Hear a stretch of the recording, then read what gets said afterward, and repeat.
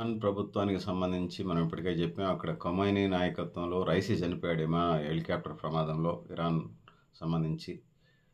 ఈ క్రమంలో ఎనభై మంది దాకా అక్కడ నా కంటెస్ట్ చేయడానికి ప్రయత్నం చేస్తే ఆరుగురికి అవకాశం దొరికింది.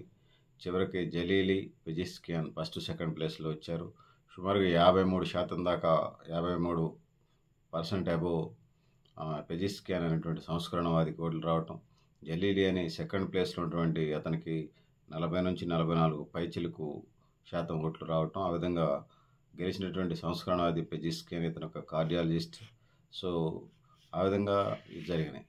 ఆ దేశ అధ్యక్షుడు రైసీ మరణం తర్వాత కమైన్ కనుసన్నల్లో ఆ ప్రభుత్వం నడిచింది. సో ఆ విధంగా రెండేళ్ళ క్రితం మొహాసామీన్ అనేటువంటి విద్యార్థి నాయకురాలు పోలీసుల కాల్పుల్లో చనిపోవడంతో అక్కడ మహిళల్లో అంటే ఇరాన్ దేశంలో మహిళల్లో యువతలో కోపం ఇది అయింది కోపం కట్టలు తెంచుకుంది. సో సనాతన ముస్లిం ఆచారాలని వాళ్ళు అది ఏదైతే ఉన్నాయో వాళ్ళకి నచ్చినటువంటి వాటి మీద ప్రొటెస్ట్ చేశారు వాటి మీద యాజిటేషన్ చేశారు. సో సనాతన ముస్లిం సాంప్రదాయాలను పాటించే అయాతుల్లా కమానీ నేతృత్వంలో ఇస్లామిక్ ప్రభుత్వం అనుసరించిన విధానాలని మహిళలంతా వ్యతిరేకించారు. సో ఆ విధంగా ఇరాన్ మహిళలు యువతులు హిజాబ్ తప్పనిసరిగా ధరించాలని బంధన బంధనను మహిళలు యువతలు తీవ్రంగా వ్యతిరేకించారు.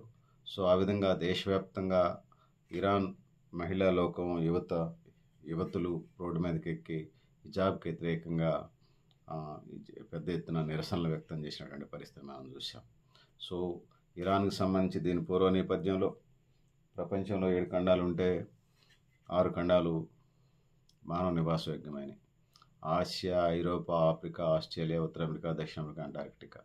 ఈ అంటార్కిటికా ఖండం ఏదైతే ఉందో ఇది మంచుది ఇక్కడ మానవ నివాసం జీవరాశి జీవనానికి అనుకూలంగా ఉండదు.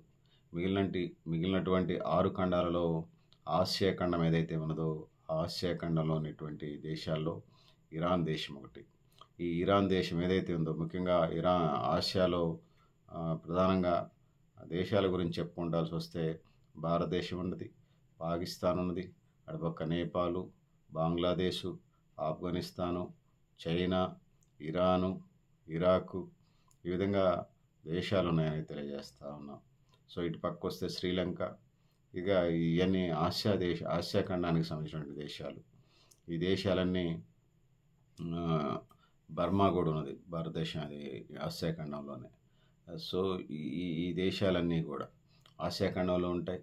సో ఈ క్రమంలో ఏదైతే ఉన్నదో ఇరాన్ ఎన్నికలు జరుగుతూ ఉన్నాయి. ప్రపంచవ్యాప్తంగా వందకి తొంభై తొంభై వందకి తొంభై ఐదు శాతం దేశాలు ప్రజాస్వామ్యాన్ని కోరుకుంటున్నాయి. ఒక్కొక్క దేశంలో ఒక్కొక్క తరహా ప్రజాస్వామ్యం ఉన్నది. ఈ క్రమంలోనే ఈ ఆసియా ఖండంలో ఉన్నటువంటి ఇరాన్ ఏదైతే ఉన్నదో ఆ దేశ అధ్యక్షుడు హెలికాప్టర్లో మరణించిన తర్వాత ఆ దేశం అధ్యక్ష పదవికి ఎన్నికలు అనివార్యమని సో అప్పటికే మహిళలు యువతులు అదేవిధంగా యువత వాళ్ళు హిజాబ్కి వ్యతిరేకంగా మహిళలు యువ యువతులు వ్యతిరేకంగా అప్పుడు వెజిటేషన్ చేశారు. ఆనాడు ఉన్నటువంటి ఏదైతే ప్రభుత్వం ఉందో కమాని ప్రభుత్వానికి సంబంధించి. సో అదేవిధంగా ఇస్లామిక్ ప్రభుత్వం సనాతన ఛాందస్వాద విధానాలకు వ్యతిరేకంగా వాళ్ళు చేశారు. అదే క్రమంలో ఆ దేశంలో ఉపాధి మార్గాలు కరువు కావటం వల్ల ఉపాధి మార్గాలు తగ్గిపోవటం వల్ల ఆ దేశంలో ఉన్నటువంటి ఇరాన్ దేశంలో ఉన్నటువంటి యువతంతా పెద్ద ఎత్తున ఎదురెదిరినటువంటి నేపథ్యాన్ని మనం చూసాం సో సోదరులారా సోదరిమణులారా ఈ నేపథ్యంలో నా దేశ అధ్యక్షుడు చనిపోవటం ఆ దేశంలో ఎన్నికలు జరగటం సంస్కరణవాది చాంద అంటే సనాతనవాదులకి సంస్కరణవాదులకి సంబంధించి జరిగినటువంటి ప్రజాస్వామ్య యుద్ధంలో విజిస్కిన్ అనేటువంటి ఒక కార్డియాలజిస్ట్ డాక్టర్ ఎవరైతే ఉన్నారో అతను ఇరాన్ అధ్యక్షుడిగా సంస్కరణవాదిగా మొదలైనటువంటి గెలిచినటువంటి సందర్భాన్ని మనం చూసాం సో సంస్కరణవాదిగా ఉన్నటువంటి అతను సో ఆ దేశ అభివృద్ధికి బాటలు వేస్తారని చెప్పేసి ఉపాధి మార్గాలు పెంచుతారని చెప్పేసి సనాతన ఛాందస్వాద భావాలని మనుషుల మీద రుద్దరని చెప్పేసి సో ఆ విధంగా మనుషులకు సంబంధించి మనిషిని మనిషిగా చూసేటువంటి ఒక సమాజాన్ని ముందుకు తీసుకుపోవటానికి పెజిస్కిన్ సంస్కరణవాది తీసిపోతారని ఒక ఆశాభావంతో చేశారు. సో ఆ విధంగా ఇరాన్ ఎన్నికలు సో ఒక పక్క సనాతన ధర్మాన్ని పాటించేవాళ్ళు ఇంకొక పక్క ఆధునిక భావాలు కలిగినటువంటి సంస్కరణవాదాన్ని కలిగినటువంటి యుద్ధంలో ఇరాన్ ప్రజలు ఎవరైతే ఉన్నారో సుమారుగా ఎనిమిది కోట్ల మందికి పైగా ప్రజలు ఉంటే ఆరు కోట్లకు పైగా ఓటర్లు ఉన్నారు వీళ్ళు ఎన్నికల్లో పాల్గొన్నారు. సో సో అందులో కూడా పెద్ద ఎత్తున ఓటింగ్ ఏమి తొంభై శాతం అక్కడ ఎన్నికలు జరగ ఓటింగ్లో పాల్గొనలేదు. సో ఉన్నటువంటి పాల్గొన్న వాళ్ళకి సంబంధించి వచ్చినప్పుడు సో మెజారిటీ పెజిస్కియన్ ఏదైతే ఉందో ఆ పెజిస్కియన్ అనేటువంటి సంస్కరణవాది ఇరాన్ అధ్యక్షుడు కావడం జరిగింది. సో ఇరాన్ అధ్యక్షుడైన అయిన తర్వాత ఒకవైపు అమెరికాతో అగ్రరాజ్యాలతో యుద్ధాలు ఉన్నాయి అమెరికాతో ఆంక్షలు ఉన్నాయి వాటిని అధిగమించడం మాట్లాడితే అక్కడ పాలిస్తానా ఇజ్రాయెల్ సమస్య కొన్ని దశాబ్దాలుగా రావణ కాష్టం రగులుతూ ఉన్నది. సో గత ప్రభుత్వాలు అయిందానికి కాందానికి అక్కడికి వెళ్ళడం వల్ల మిలిటరీని పంపించడం వల్ల ఎక్కడ లేని ఖర్చు దేశ సంపద అంతా అటు పెట్టాల్సి వచ్చి ఆ విధంగా ప్రజలు ఇరాన్ పౌరులు ఇరాన్ ఇరాన్ ప్రజలు పేదరికంలో నెట్టేయబడ్డారు. వీటన్నిటి నుంచి పెజిస్కిన్ ఏ విధంగా వాళ్ళని రక్షించగలుగుతాడు ఏ విధంగా బయటికి తీసుకురాగలుగుతాడో వేచి చూడాల్సినటువంటి పరిస్థితి ఉన్నది. సో ఆ విధంగా సంస్కరణ ఛాందసవాదానికి సంస్కరణవాదానికి జరిగినటువంటి ఎన్నికల్లో సంస్కరణవాదానికి ఆధునిక భావాలకి సంబంధించినటువంటి ఉన్నటువంటి వ్యక్తులు ఇక్కడికి రావటం ఆ విధంగా ఆ వైపు తీసుకుపోతారని. ముందుగా ఆ దేశ అధ్యక్షుడి మీద ఉన్నటువంటి ప్రధానమైనటువంటి బాధ్యతలు ఏదైతే ఉన్నాయో అవి ఆ దేశంలో మహిళలకి యువతులకి వాళ్ళకి హిజాబ్ పట్ల అంటే ఛాందసవాద భావాలకి సంబంధించి కొంత రిస్ట్రిక్షన్స్ తగ్గించాలని షరతులు తగ్గించాలని డిమాండ్ మనకు కనపడతా ఉంది. మహిళా లోకానికి సంబంధించి. అదేవిధంగా యువతకు సంబంధించి కార్మికులకు సంబంధించి ఉపాధి మా- ఉపాధి మార్గాలను పెంచాలనేది ప్రధానమైన సమస్యగా ప్రధానమైనటువంటి ఎజెండాగా ఉన్నది.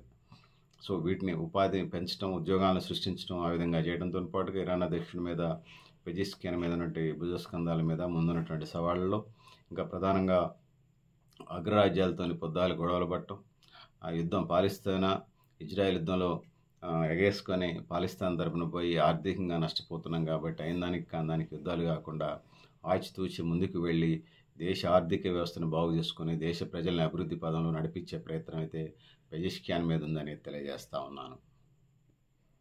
అంటే రోహానీ అధ్యక్షునిగా ఉన్నప్పుడు కూడా సంస్కరణవాదం అయితే ఆ ఇరాన్ పవర్లో వచ్చారు దాని తర్వాత ఇబ్రహీం రైసీ కాలంలో కూడా కొనసాగింది. సో ఇప్పటికీ అనుకున్నాం. రైసీ మరణించిన తర్వాత ఈ ఎన్నిక అనివార్యం అయిందనేది చెప్పదలుచుకున్నాను.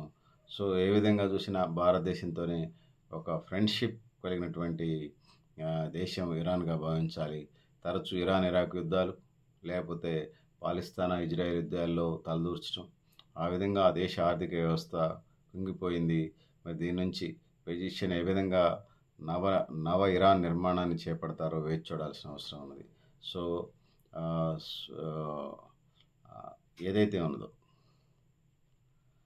భారత్ ఎంతో లాభం చేకూరుతుందని భావిస్తోంది. దీనికోసం భారత్ నూట ఇరవై మిలియన్ డాలర్ల సాయాన్ని అందించేందుకు వాగ్దానం చేసింది. అంటే భారత్ ఇరాన్కు సంబంధించినటువంటి కొన్ని దౌత్య సంబంధాలు ఉన్నాయి.